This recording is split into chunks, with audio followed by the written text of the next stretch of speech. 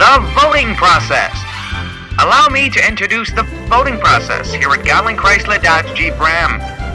First, we have our team of trained media professionals scour the Golling Facebook page and gather your photos to get them ready for distribution to our voting staff. Here, a group of certified professionals inspect each photo and rank them based on quality, condition, authenticity, originality, and style. Tallies are collected by the Golling Accounting Department for close accounting and inspection.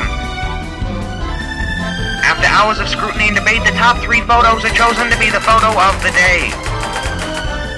These lucky few photos are passed down the assembly line for the Golling staff of approval. The top three photos are delivered back to the media team to post them on the Golling Chrysler Dodge Jeep Ram Facebook page but only one will be lucky enough to be our photo of the day. This process is repeated Monday through Friday. And one lucky man or woman shall be crowned the photo of the week and have their submitted photo used as the Golling Chrysler Dodge Jeep Ram profile picture. The final four photos of the week battle it out to become our prestigious photo of the month. We lock a group of automotive professionals in a room for as long as several weeks in order to gain a unanimous decision. Looking lost and disheveled, but ultimately satisfied having known that they played a major role in creating history. And there you have it, folks, the voting process at Golling Chrysler Dodge Jeep Ram.